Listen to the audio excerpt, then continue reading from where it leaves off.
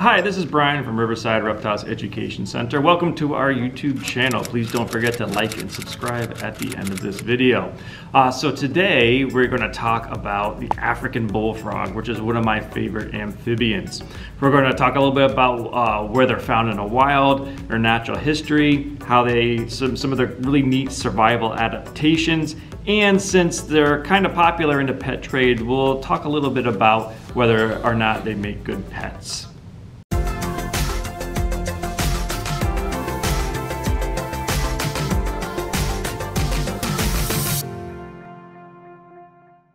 So this is Zambia. Bye Zambia, where are you going? So this is Zambia, our African bullfrog. We have three African bullfrogs here. Um, he's one of our largest. We actually just weighed him, I mean, he's a little bit under two pounds. Now, African bullfrogs are found mostly in South Africa, uh, north to Tanzania. Don't walk off the table. So African bullfrogs are actually the second largest species of frog in the world. Uh, adult males like this can get up to three pounds. The first, number one largest frog in the world, of course, belongs to the Goliath frog, which is also found in Africa, but up closer towards equatorial Africa, especially in the Congo River Basin. Um, but African bullfrogs, nonetheless, get very large. Again, adult males get up to three pounds. Females only get about half that size. Um, it's very unique in amphibians. Most amphibians, most females get larger than the males, but in bullfrogs, even our American bullfrogs, the males do get larger than the females.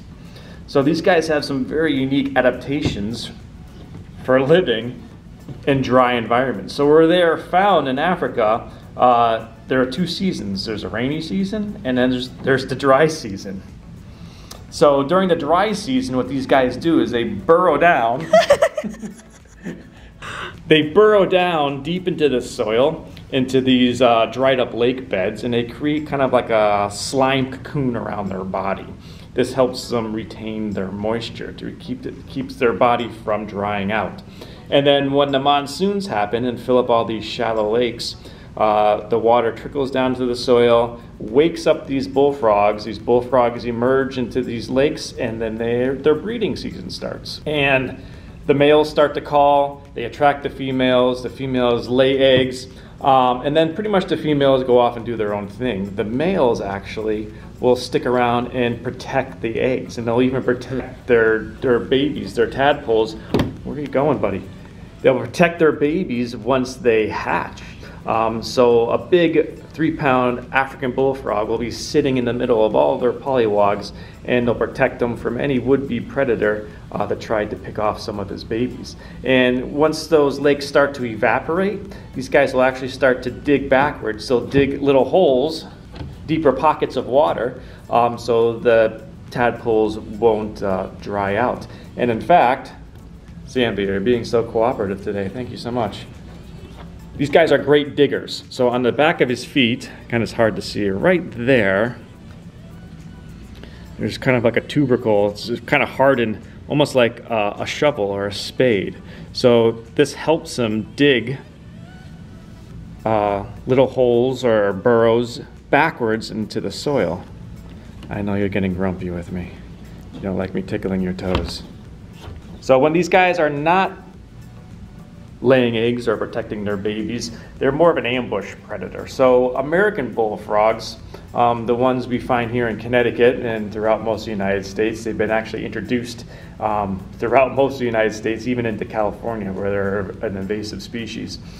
But American bullfrogs, phenomenal jumpers. Their back legs are twice the length of their own body. You're right, Melina? So they can jump very far. They can jump over 12 feet in a single leap. If you look at his back leg, he's got very tiny back legs. You also notice he's got an adorable, cute butt as well. He does not like to be held this way.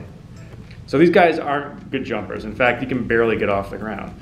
So he's an ambush predator. So they sit very patiently, burrowed in the mud or in the muck, just with their eyes above the surface, and they wait for a small animal to walk in front of them. when it does, they'll leap out and grab them. Huge mouth, powerful jaws, and believe it or not, African bullfrogs have huge teeth. They have two bony protrusions on their lower jaw.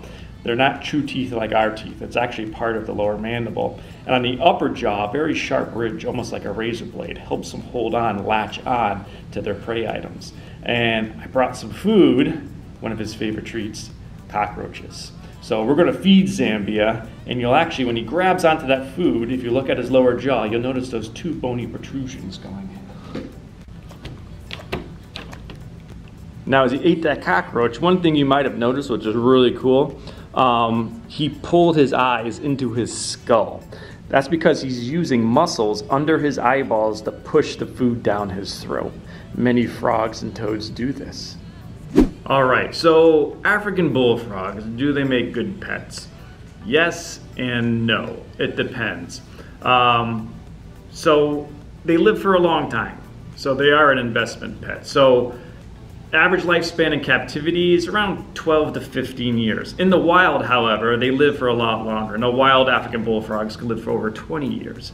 Um, but the reason why they don't live as long in captivity is because in the wild, um, they're estivating for at least half of the year. They're sleeping under the soil. Um, so they're not eating year round. When they eat year round, um, they don't live as long, unfortunately, but they still live long enough to make it a pet that's kind of what I call an investment pet. It's a pet that you're going to have for a long time. Uh, so keep that in mind. Also, they're fun to have, but they're not extremely entertaining. Uh, they're very sedentary, meaning unless you have them out on a table trying to do a video, they're not moving around too much.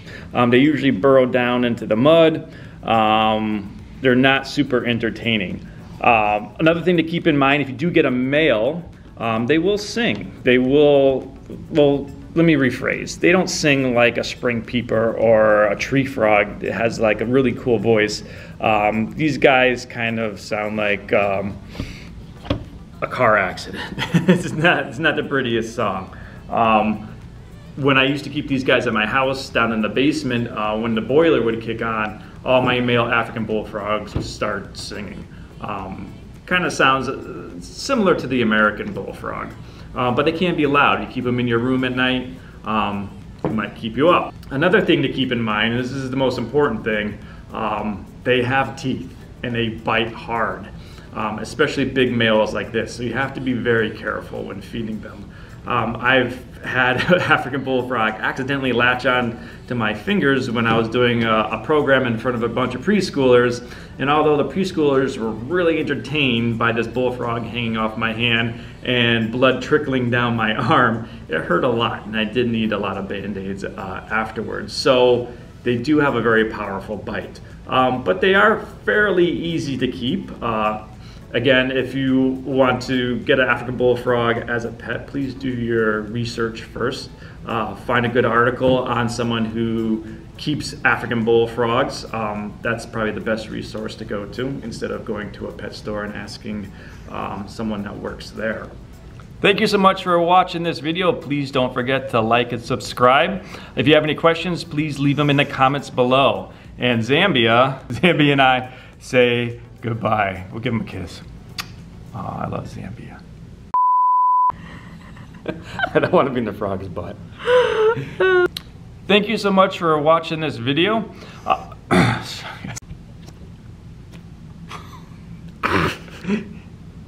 he doesn't always have the best aim. He hasn't swallowed it yet, so he might open and readjust. He's not gonna hurt you.